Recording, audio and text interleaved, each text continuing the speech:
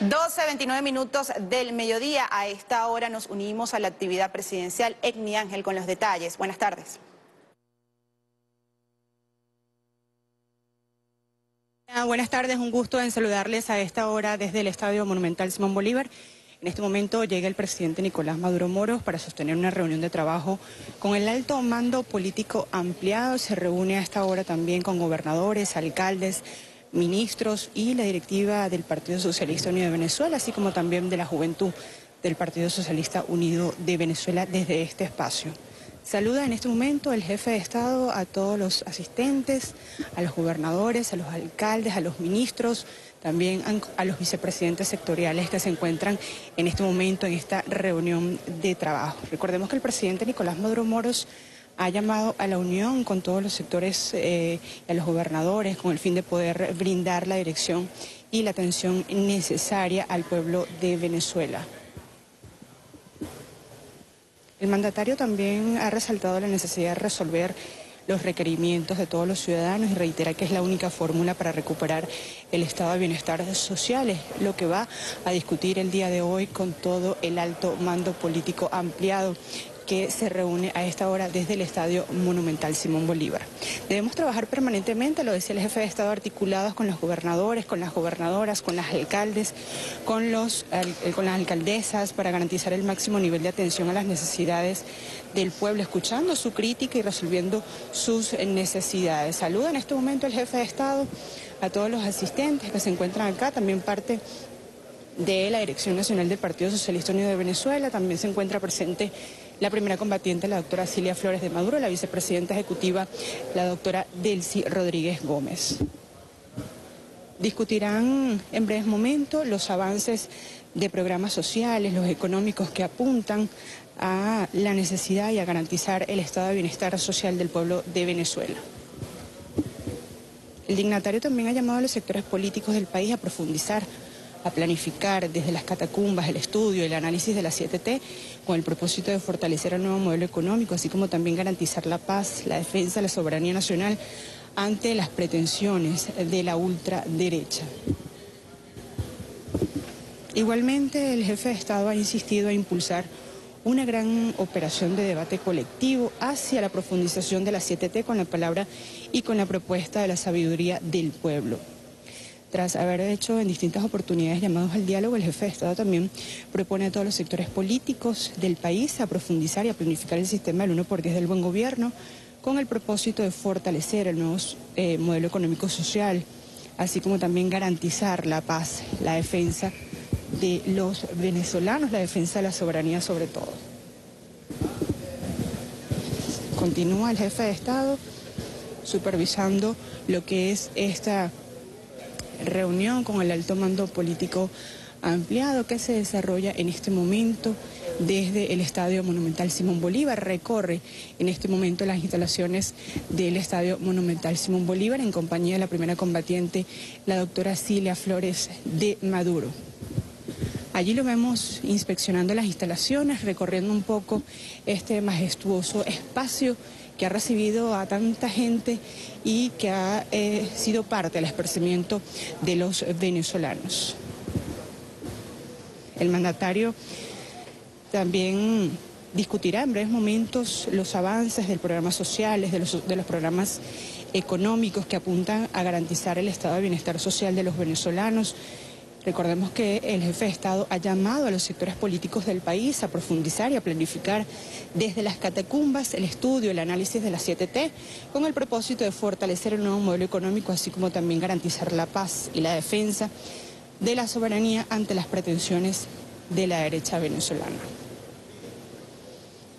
En esta oportunidad también evaluarán la gestión del Comando Especial Presidencial del 1 por 10 del buen gobierno, una instancia que avanza, recordemos, sobre tres componentes esenciales, las bricomiles, las misiones, las grandes misiones. Además discutirán sobre el Plan 95 que se refiere en subir del 68% de atención y solución de los temas reportados por el pueblo. Vamos a escuchar palabras del presidente Nicolás Maduro. Buen provecho. Están todos, ¿verdad? Y todas. ¿Quién faltó? Todo. Bueno, mi saludo Nos vinimos a este espacio tan, tan hermoso, lleno de tan buena vibra, de espíritu competitivo y de fuerza de victoria para hacer este encuentro. Por un lado aquí la montaña y el frescor del aire puro de la montaña y allá el campo de juego. Nos vinimos porque tenemos que prepararnos para ganar, ganar el juego, ganar la competencia, ganar la batalla, unir a todo el que pueda ser unido por amor a Venezuela, por el futuro de Venezuela. Articular, unir, incluir, convocar y seguir cabalgando el siglo XXI que nos toca. Bueno, mi saludo a la Dirección Nacional en Pleno del Partido Socialista Unido de Venezuela, a la Dirección Nacional de la Juventud, gloriosa JPSUV. ¿Cómo es que gritan ustedes? Grita, Riaza, grita. Ahí está Jorge Arriaza infiltrado, mira. Aunque todavía no le han salido arrugas y tiene el pelo todavía colorado.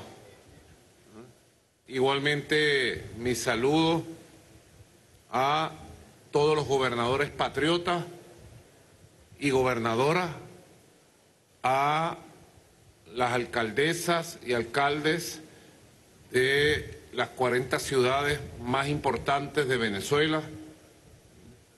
Mi saludo a la alcaldesa de Caracas, que está aquí, ¿vale? Y a Naúm Fernández, jefe de gobierno, magnífico.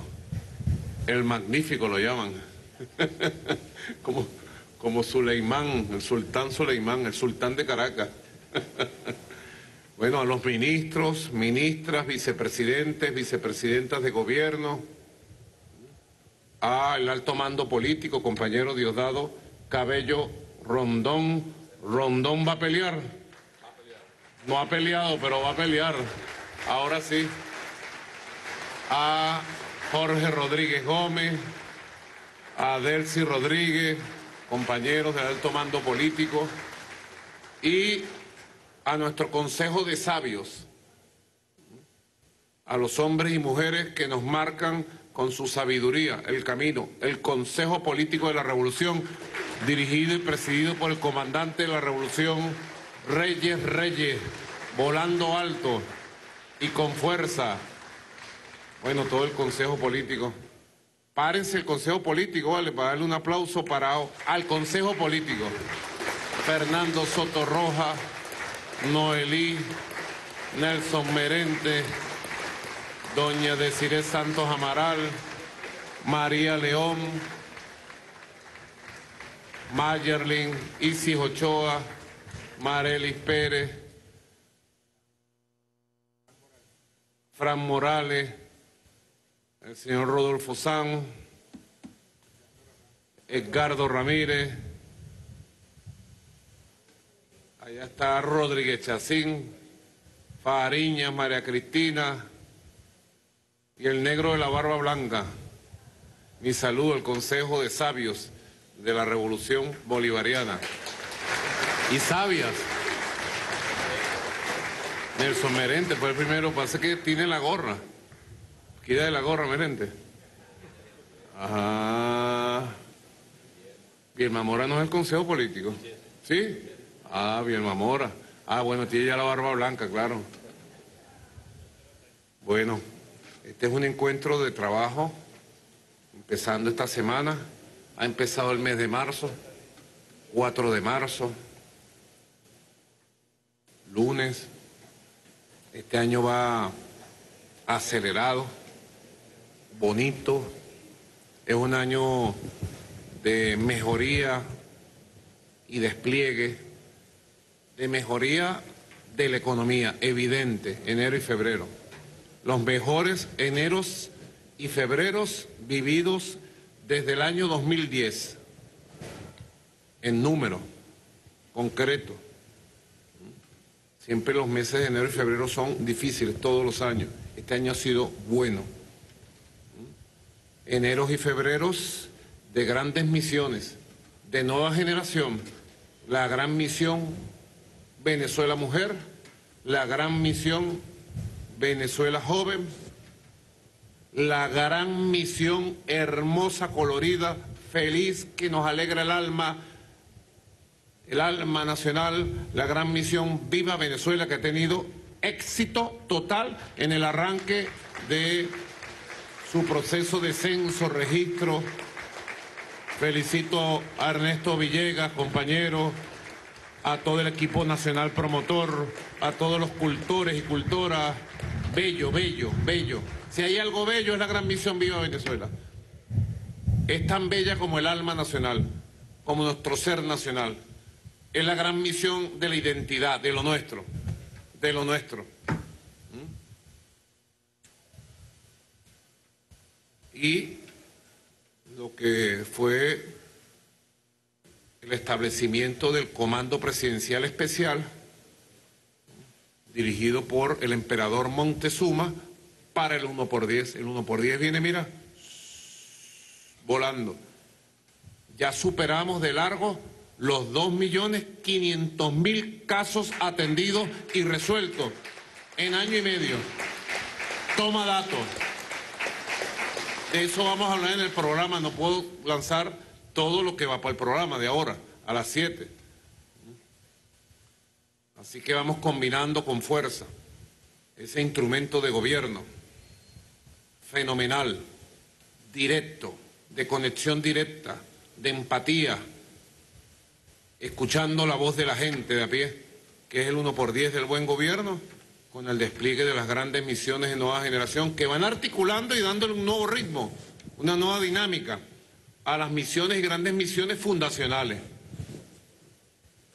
Unir las grandes misiones fundacionales relanzadas para una nueva etapa y desplegar con la maravillosa fuerza del pueblo en unión cívico-militar policial las grandes misiones de nueva generación. Allí va una línea, mira, certera, certera, para nuestro pueblo histórico, para nuestro pueblo protagonista, porque nosotros tenemos un pueblo histórico, un pueblo protagonista. Ese pueblo, hay que confiar en ese pueblo, hay que convocarlo, hay que escucharlo, y hay que dejarse mandar por quien debe mandar en Venezuela siempre, el pueblo de Venezuela. Nuestro mandato es obedencial, no es al revés como los apellidos, las castas. La verdadera casta es la casta de los apellidos. Esa es la casta verdadera. Nosotros somos un pueblo protagonista, libertario. Así que bueno, esta reunión de trabajo Vamos a arrancar ahora a desarrollarla para ver un conjunto de elementos, de puntos de gran interés de la táctica, la estrategia, toda la política de alianza, de reunificación, para ajustar mecanismos, para ajustar las agendas las agendas tienen que estar en sintonía. No puede andar por allá un compañero o una compañera con una agenda propia y no se le ve la cara. No, estoy por aquí metido y no se le ve la cara. ¿Qué estás haciendo? Así nos decía el comandante Chávez. Si te acuerdas, Diosdado, Jorge, que nos decía el comandante Chávez a nosotros. ¿Mm? No sé si recuerdo. Exactamente, cuando decía, no, mucho esfuerzo, mucho esfuerzo. Empujando esa columna, y le empuja, y le empuja, y le empuja. Y cuando te pregunto, ¿cuántos centímetros ha movido esa columna en una semana? Ni uno. está sudadito, no, ya trabajé. Pues se trata de alinear la estrategia, los objetivos, las políticas, para que los esfuerzos, la acción, sea certera y tenga un impacto nacional. Que nuestra política, nuestra acción y la protección del pueblo tenga un impacto verdaderamente nacional, adaptado a las peculiaridades de cada localidad, de cada región. Se trata de perfeccionar un método de dirección colectiva científico que empuje el proyecto nacional Simón Bolívar, que empuje el plan de la patria y que esté en sintonía con las regiones y con las bases del pueblo. Ahora estamos construyendo el plan de futuro, rumbo al 2030 más, trabajando con quién en el futuro, diseñando con quién, con las élites, diseñando el futuro con quién, con los apellidos, con el imperialismo, con las transnacionales. No, diseñando el futuro con el único que se puede diseñar el futuro, con el pueblo de a pie, con el pueblo de base, con el poder popular, con las mentes maravillosas de un país que piensa, que sueña, que ama a nuestra patria y que está dispuesta a crearla, construirla. Esa es la verdad de las 7T. Las siete transformaciones que construye el pueblo por su felicidad, por su futuro. Son las siete transformaciones que construimos por la felicidad y el futuro del pueblo. Del pueblo para el pueblo, con el pueblo siempre. El concepto de la democracia verdadera, directa, participativa, protagónica, que debemos siempre practicar y perfeccionar en el método, para que todos los debates enriquezcan. Cada T yo me he puesto a revisar los documentos que me entregaron cuando hicimos el acto. La semana pasada fue intenso. ¿Cuándo fue? El martes 27 de febrero, a 35 años de la rebelión popular y la masacre de los apellidos, del puntofijismo, del imperialismo contra el pueblo. Yo me he puesto a revisar, de verdad que creo que es un boom nuevo de la revolución, las 7T. Las ideas que vienen ahí, las propuestas que vienen para la acción son totalmente pertinentes con la realidad actual de Venezuela. Son totalmente viables, son totalmente necesarias y las propuestas que ha hecho el pueblo van a conformar el plan de las 7T rumbo al 2030. Plan para dirigir, conducir los tiempos futuros de Venezuela para construir futuro. En esa onda, por eso es que hay que alinear todo. hay propuestas de corto plazo que nos obligan ya a actuar sin demora. Hay propuestas de medio, mediano plazo que tienen la vista puesta 2026-2027.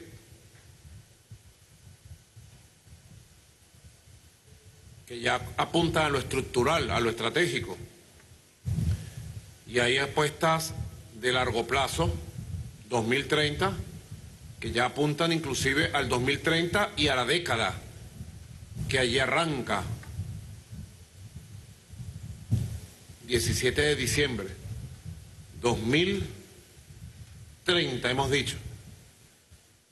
Y lo soñamos y lo esperamos y a la generación más joven, muchachos y muchachas, pónganse de pie, estos muchachos que tienen 16 y 18 años, 20, 24, 25, 30 años, estos chamitos y chamitas, mira, vamos a dar un aplauso a esta juventud que reverdece, bella juventud, bella, bella juventud. Ah, tremendo discurso se dio Michelle, ¿vale? el 29 de febrero, año bisiesto, año de suerte, porque estamos en año bisiesto y todos los años nos ha dado suerte. Todos los bisiestos.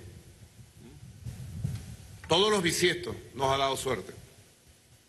Yo lo recordaba, Jorge Rodríguez, contigo.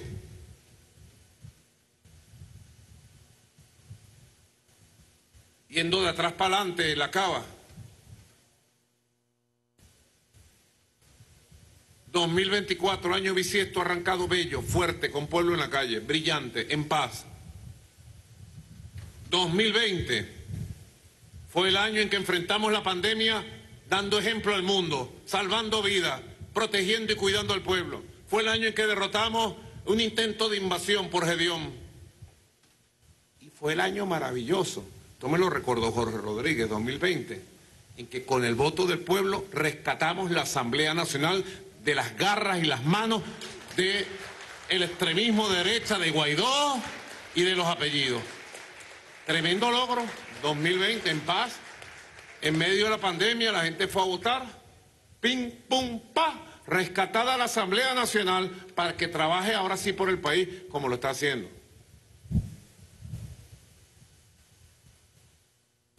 2016, veníamos de un año duro, de guerra económica y perdimos las elecciones en el 15. Y el 2016, aire, recuperación, estabilidad. Por allá un ablachento dijo, en tres meses salimos de Maduro. Después en seis meses, y así estuvieron. Ni en tres meses, ni en seis meses. Porque Maduro es el pueblo y no saldrán del pueblo. Así de sencillo. 2016. 2012. Año de la gran victoria de nuestro comandante Chávez. Invicto. Se fue invicto el comandante Chávez de esta vida. A su inmortalidad. 2012. Gran triunfo el 7 de octubre. 2008, año bisiesto, tremenda victoria de recuperación, gobernaciones y alcaldías, los barrimos. Estaban con el cuentico en el 2008, ¿se acuerdan? Ellos. No, que ellos iban a ganar el 90%. Sacaron encuestas por todos lados. CNN en español sacaba encuestas todos los días. Chávez pierde las gobernaciones, Chávez pierde las alcaldías. y la verdad verdadera, tremendo triunfo, bello, bonito, gestado desde la base. 2004, Naguara, ¿qué podemos decir del 2004? Veníamos de los golpes de Estado, conspiración 2001, golpe de Estado 2002, sabotaje petrolero 2002-2003, firmas planas, fraude en la recolección de las firmas. Y fuimos, 2004, 15 de agosto, referéndum revocatorio. Y el pueblo convirtió el referéndum revocatorio en un referéndum revolcatorio. El pueblo revolcó los apellidos, a la oligarquía, a la derecha esta nauseabunda. 2004. Magnífico, una cosa de verdad fue... ¿Tú te acuerdas, Iri? Iri Varela, ese año. Hermoso, ¿verdad? poderoso. A Erika, tú eras una niñita, estaba en el liceo todavía.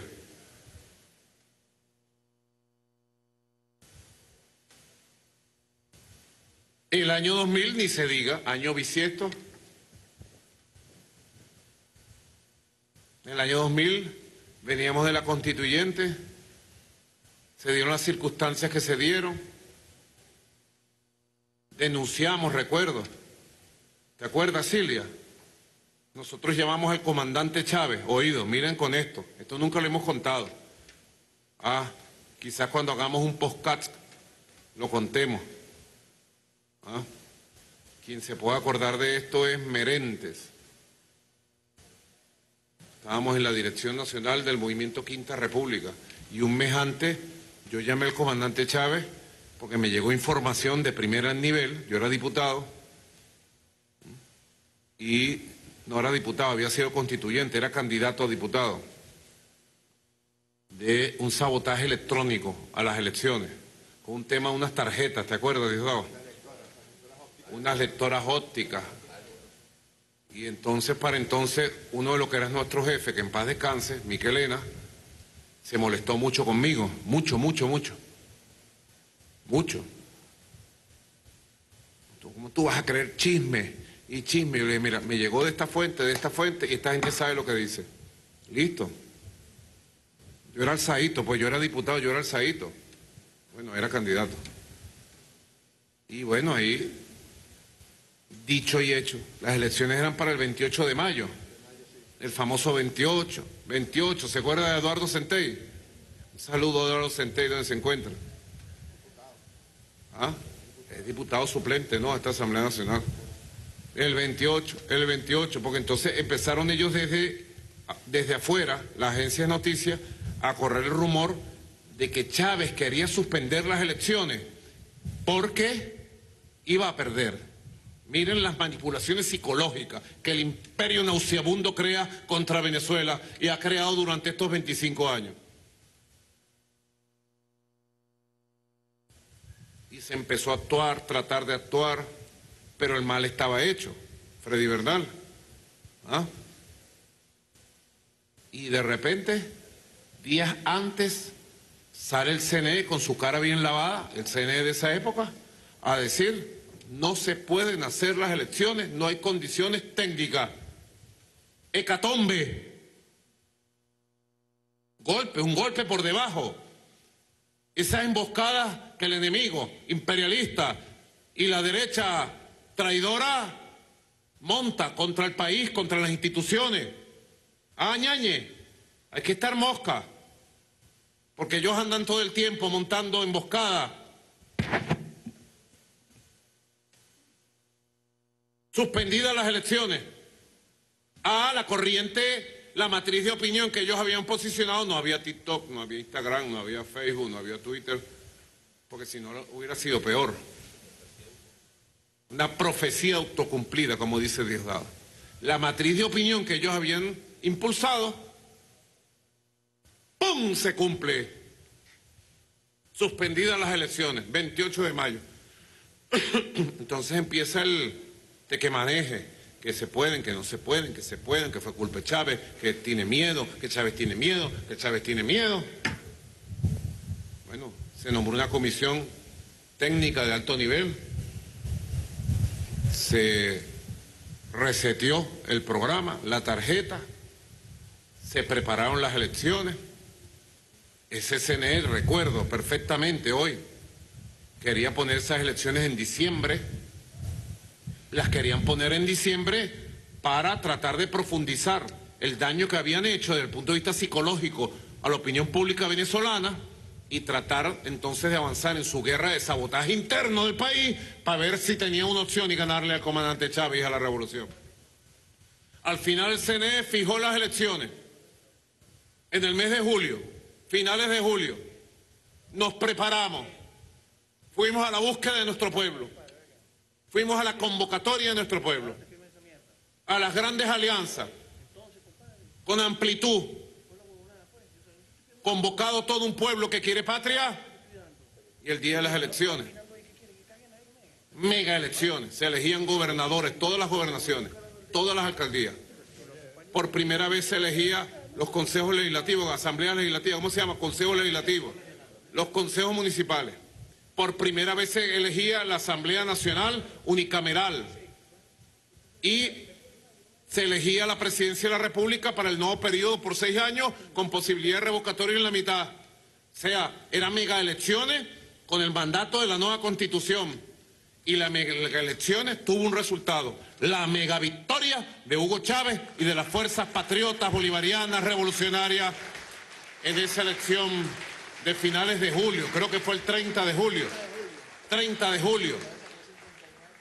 Chávez sacó casi 60% de los votos. Chávez tiene miedo, Chávez tiene miedo, la revolución tiene miedo. No es el miedo lo que nos caracteriza a los revolucionarios y a las revolucionarias. Es el arrojo, la audacia, el amor por Venezuela y nuestro carácter de pueblo, porque nosotros somos pueblo. Frente a ellos, la oligarquía apátrida, vende patria. Año bisiesto. ¿Se dan cuenta que da suerte? Por algo debe ser. Bendiciones especiales que nos llegan. Año bisiesto 1996. Entre persecuciones, estábamos en el movimiento bolivariano, recorriendo el país, junto al comandante Chávez, por culpa de Freddy Bernal nos metían presos cada cinco minutos. Cuando no estábamos presos nos estaban persiguiendo. Año 96 fue bueno porque definimos. Tuvimos la visual y Chávez nos dijo, muchachos, muchachas, violencia nunca más. Los fusiles nunca más. Los fusiles solo para defender la patria. Vamos por el camino electoral, nos dijo, solo por el camino electoral. Y muchos dijimos, Freddy Bernal llevó la voz cantante y dijo, pero si ellos manejan todo el aparato electoral, y Chávez dijo, hay una ventana de oportunidad, confiemos en el pueblo, metámonos por ese camino y busquemos una revolución pacífica, electoral, constitucional, constituyente y profundo. El 96 fue año de definiciones. Nos definimos bien. Y estamos orgullosos de las definiciones que hizo nuestro comandante. Y cuatro años antes, año bisiesto, 1992. 4 de febrero de 1992, 27 de noviembre de 1992. Las rebeliones bolivarianas militares del pueblo de Venezuela. Año de despertar. La historia del siglo XX y el siglo XXI se cuenta en un antes y un después del 4 de febrero de 1992. Hay dos fechas icónicas de nuestra historia. 19 de abril 1810, inicio del camino. 4 de febrero 1992, siglo XXI, resurrección de Bolívar. Así que el camino que hoy estamos dibujando con el pueblo de las 7T, compañeros, compañeras, compatriotas, hermanos, hermanas, es el camino apropiado, justo, correcto, necesario. Y nosotros tenemos que ser fuerza de transformación. Aquel que tenga liderazgo, aquel que tenga una responsabilidad, aquel que tenga una jefatura, aquel que tenga compromiso con la patria, más allá de jefaturas o cargos, aquellos y aquellas que tengamos un compromiso de vida con el futuro de Venezuela, tenemos la obligación de, ser fuerza de transformación y no fuerza de conservación. Nosotros tenemos que ser la mayor fuerza de transformación de Venezuela, donde estemos. Y eso no es cualquier cosa.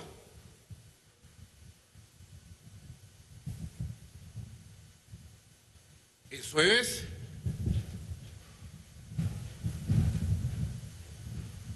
la obligación de afinar nuestra inteligencia, nuestros planes, nuestro trabajo colectivo.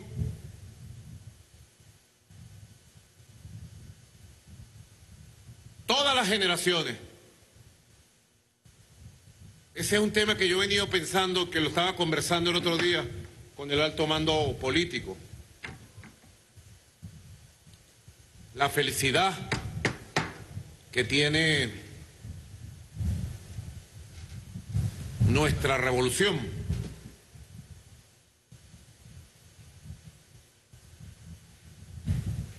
de contar con cinco generaciones unidas, integradas, cinco generaciones unidas e integradas. Esa es obra también del espíritu, de los métodos y de la personalidad magnífica de nuestro comandante Chávez. Y de nosotros también, como sus hijos. Una primera generación presente aquí. Yo lo llamo los precursores, la generación heroica.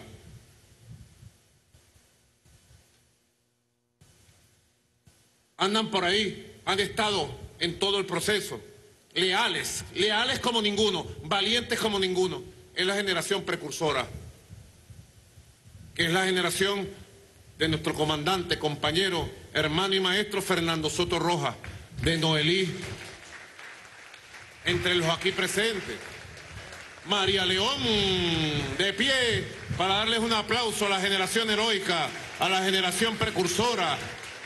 Marily Pérez Marcano, que vienen de los 50, 60, 70. Ah, que les tocó recorrer los caminos de la clandestinidad, la resistencia, la guerrilla, los caminos de la tortura, la desaparición, Fernando Sotorroja jamás pudo ver a su hermano. Una desaparición forzada. ¿Y dónde estaba la Corte Internacional? ¿Dónde estaban esos organismos que responden al imperialismo y responden a Occidente? Cuando hubo 3.000 desapariciones aquí, incluyendo a Víctor Ramón Sotorroja, hermano querido de Fernando Sotorroja. Su madre lo estuvo esperando hasta que murió a los 103 años. No hubo un día que no lo esperara, que volviera. Víctor Ramón Sotorroja, la generación heroica. Honor y gloria a nuestros mártires y desaparecidos. Honor y gloria a esta generación que nos dio la luz cuando éramos chamitos.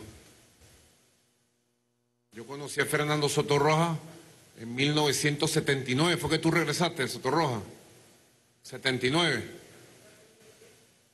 Sí, Sotorroja estaba en Palestina, en el Líbano, entre el Líbano y Palestina, con un fusil en la mano combatiendo Sotorroja allá y le dieron la orden de regresar a Venezuela porque se había dado un proceso de legalización de los viejos guerrilleros que aún se mantenían, no, no eran viejos, él tenía 50 años apenas, y lo conocimos, Sotorroja, igualito como ustedes lo ven ahorita, igualito, dándonos sus lecciones, sus consejos.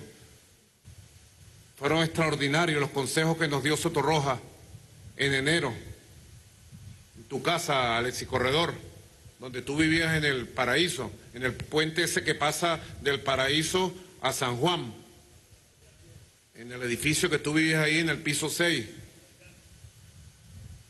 Allí, en la casa Sotorroja de Alexis Corredor, ahí estuvimos. Éramos militantes de la Liga Socialista, Diosdado. Y nos reunimos con Sotorroja, que era nuestro jefe. Ahí estaba también Piñate para decirle, mira, Sotorroja, Chávez va para la calle. Y nosotros, siguiendo tus enseñanzas y las enseñanzas de ustedes, nos vamos con Chávez. Pase lo que pase. Y los consejos que ese día nos dio fueron determinantes para ayudar a Chávez. Ayuden siempre al comandante Chávez, nos dijo. Nunca se sumen a ninguna fracción, a ningún grupo divisionista. Sean leales a él así no estén de acuerdo con lo que él diga. Ese es el hombre, ese es el líder. Vayan con Dios, muchachos. Y sus consejos y sus bendiciones, mira, nos llevaron por estos caminos de victoria, histórico, heroico. La generación precursora.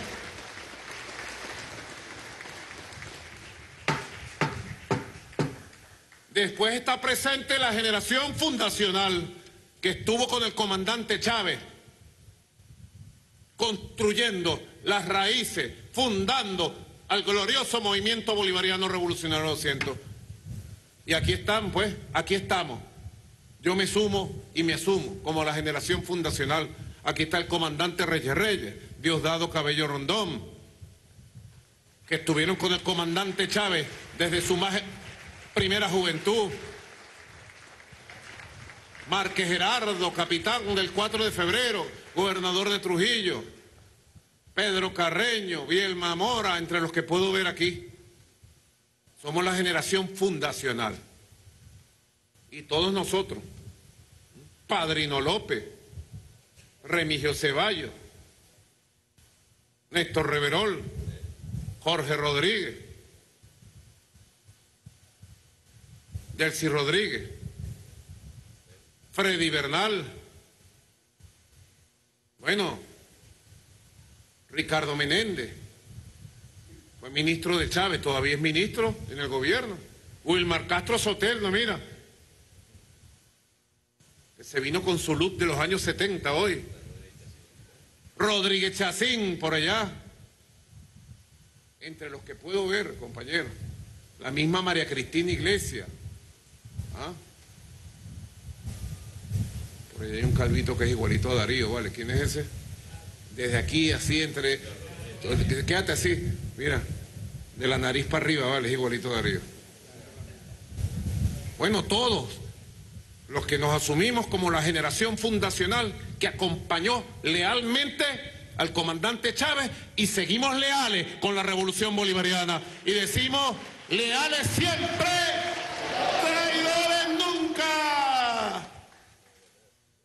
Cilia Flores. Cilia y yo nos conocimos hace 30 años, 1994, por los caminos fundacionales del movimiento bolivariano. Haremos un podcast para contar cómo fue. Ah, Silita. Hasta el sol de hoy. Y los soles que falta, dice Silvia. Un aplauso a Silvia, vale. Eso. Está bonita hoy Silvia, ¿verdad? ¿Ah? Después viene otra generación que yo llamo intermedia joven. Se puede llamar intermedia joven. Seguramente habrá un nombre mejor y feliz. Que es la generación que surgió de la revolución, se gestó jovencita en los primeros años de revolución y sacó la cara por Chávez y por el país aquel año glorioso 2007. Encabezada por estos muchachos, valientes. Siempre recordaremos a Robert Serra, nuestro joven mártir. Aquí está Héctor Rodríguez, Mayerlin, Robetza. Pónganse de pie, vale, que les doy las piernas ya. ¿Quién más? Pónganse de pie, ¿quién más? La generación joven intermedia. Víctor Clara, ¿y ustedes por qué no se ponen de pie? Víctor Clara, Luis José Marcano, Alejandro Terán, Jason Guzmán, entre otros que puedo ver por aquí, Rander, Nicolás José, Nicolás Ernesto, Naún Fernández, Pedro Infante, Ernesto Luna, Mervin Maldonado, que se la quiere dar de más chamo y por eso no se para. Aquí está la generación intermedia joven, gobernando este país ya. Luis Jonás Reyes. ¿Dónde está Luis Jonás? Ah, ok. No lo reconocía. La tercera generación de la revolución, ¿qué te parece? ¿Ah? ¿Ah? Ahí está Jacqueline Farías, también de la generación... Cuando yo dije que se pare la generación fundacional, no se paró eh, Jacqueline. Que se pare la generación intermedia, no se paró Jacqueline. Que se pare la generación joven, de primera, así es. Ese es el... ¿Cómo es que dice? Ese es el espíritu, pues. ¿Y qué? No, ya la he nombrado tres veces. Ah, fundacional. La generación, tres generaciones. La cuarta es una generación maravillosa. Brillante, inteligente, colorida y muy alegre, echada para adelante. Ha sido la generación que ha recibido el golpe directo de las 930 sanciones, de la tortura física, económica, de la violación masiva de derechos humanos por parte del imperialismo y los apellidos. Ha sido la generación que creció sobre la guarimba del 2014, sobre la guarimba del 2017 y los crímenes cometidos por Leopoldo López, Julio Borges, La Machado, Capriles y todos sus cómplices Antonio Ledesma. Pero no le han quitado el derecho a la felicidad, no le han quitado el derecho a la sonrisa, ni le quitarán el derecho al futuro en la generación joven, encabezada por esta muchachada, Génesis, Grecia Colmenares, América. Todos estos muchachos y muchachas, mira, qué bonitos son, mira, bonitos y bonitas, mira. ¿Ah? No le han quitado el derecho a la sonrisa, a la felicidad se han levantado luchando y se están forjando. Todos son estudiantes universitarios, todos son profesionales universitarios. Estudiaron universidades gratuitas dadas por la revolución que jamás se cerraron a pesar de que las sanciones criminales nos quitaron el 99% de los ingresos. Mira qué generación tan bonita, chicos. La generación, la cuarta generación. Y estamos todos unidos así. Los que han traicionado se han secado y los que traicionaran se secarán. La traición está condenada por Bolívar y Chávez, a que se sequen los traidores, las traidores, donde salgan, se secarán, utilizarán por ahí a un traidor son, lo utilizan para acá, lo agarra Guaidó al traidor, lo manosea, lo agarra ahora a la Machado, lo manosea, lo agarra el Capriles también, lo manosea al traidor, pero tiene un solo destino, secarse. Tienen el alma podrida. No pueden con sus propias culpas. Y nosotros, sonrientes, seguros de nuestra lucha, de nuestro destino y leales siempre. Leales siempre. Cuatro generaciones de unión, lealtad y una generación, la más joven, la llamo yo, la quinta, que ya se levantó. Ahí viene. ¿Ah? Carmen Teresa Meléndez. Yo digo Carmen Teresa Meléndez porque ella me está riendo y me está levantando así la mano. Yo volteo, ¿por qué? Yo soy de esa. Somos de esa. Carmen Teresa. Somos de esa, Carmen Teresa. Tú eres la alcaldesa. La generación más joven, que está representada aquí por nuestra presidenta, la presidenta de la Federación de Estudiantes de Educación Media, Michelle de Trujillo. ¿Quién más vino de esa generación más joven? Yo tenía pensado hacer en estos días que vienen un encuentro de reflexión y que cada generación presente su balance. Ah, Fernando. Cada generación, Fernando, Noelí, María León, Erika, presenten su balance de la generación precursora heroica ante el país, su balance de sus luchas, de sus dolores, de sus esperanzas, de su tiempo y de este tiempo. Que la generación, Diosdado, fundacional de la revolución, que estuvimos con el comandante Chávez, presentemos nuestro balance. Ustedes eligen quiénes. Que la generación intermedia joven también, con la bandera de Robert, presente su balance. Que la generación joven presente su sueño, su esperanza, su camino. Y que llenemos ese espacio con la generación más joven para que nos den su energía, nos den su amor y juramentarlos desde su esperanza y su compromiso para todos los tiempos de aquí al 2050. Porque como venía diciendo, y con esto termino, el 17 de diciembre del 2030, nosotros y ustedes mujeres estaremos presentando al Libertador 200 años después de su muerte, balance de cumplimiento de sus órdenes, de su sueño. Y estaremos diciéndole al Libertador como pueblo, tu pueblo no te falló, Bolívar.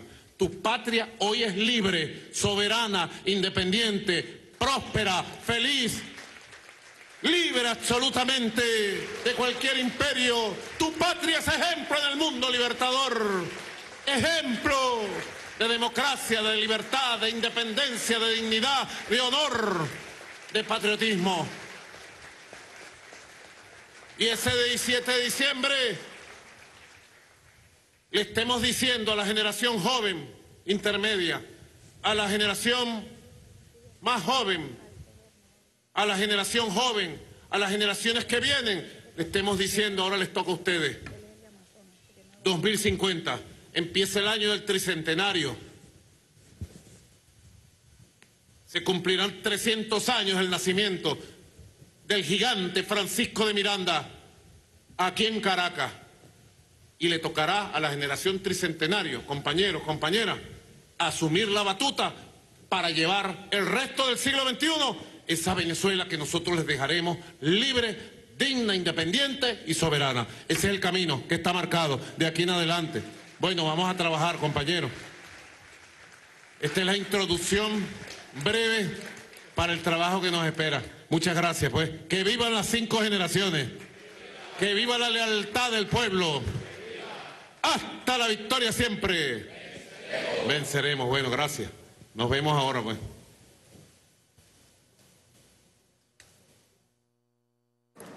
Allí tenía importantísima esta reunión de trabajo que encabeza el presidente de la República Bolivariana de Venezuela, Nicolás Maduro, con el alto mando político ampliado. Todo ello con el objetivo de afinar estrategias también en la política de alianzas y alinear esas agendas de trabajo en todos los niveles del gobierno bolivariano.